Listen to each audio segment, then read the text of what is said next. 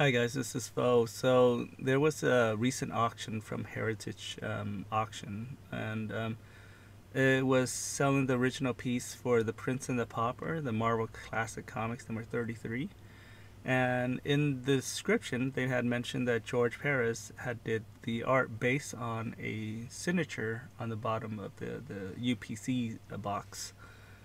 Um, and um, anyway, so the, the actual true artist was uh, credited to uh, John Romita Jr. and Tony DeZuniga. And uh, but I had no idea that George worked on this cover.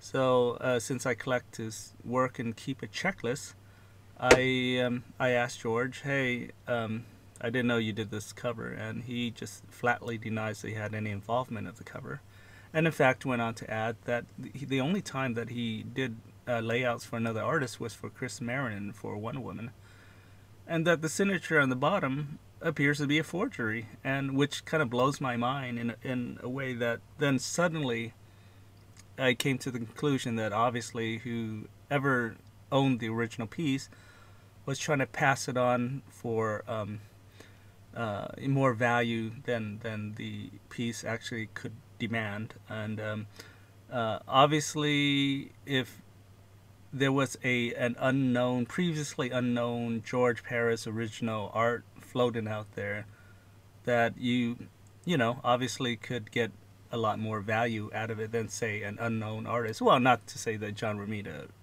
junior or senior or any of those Romitas are unknown artists. But anyway, what's interesting is, um, yeah, I don't know if Heritage knew that, that they, they had, in fact, had a forgery on their hand.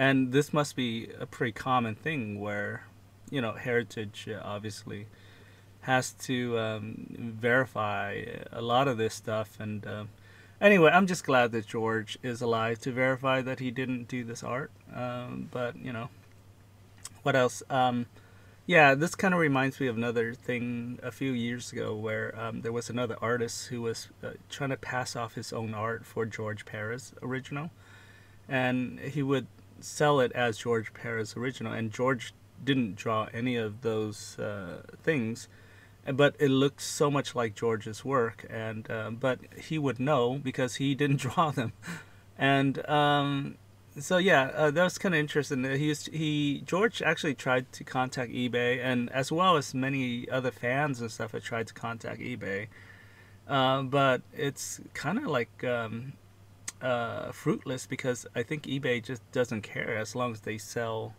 uh, product and doesn't violate some of their you know things and so I don't know if those uh, auction were ever removed or if he was ever banned from eBay, but I know that for a fact that there's people out there trying to sell fake George Perez art. So just just be aware uh, of what you're buying and who is selling it and if they're reputable or not.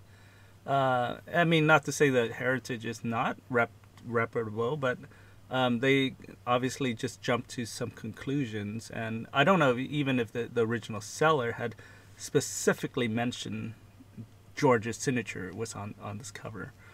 But, you know, um, well, I'm glad uh, George is still alive to, to kind of defend some of this stuff. And, um, and I mean, not, I, I I can only imagine if this turned out, to, um, you know, if this cover was actually was by George. Uh, let, us say it was by George, and George confirmed that, that that it was by George.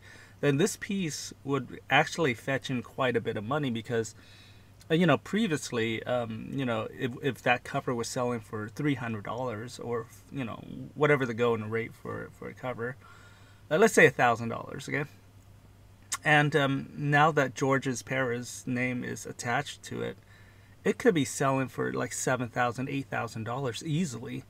So you can see where where that, you know, just a, uh, a forgery would kind of uh, artificially inflate that that auction.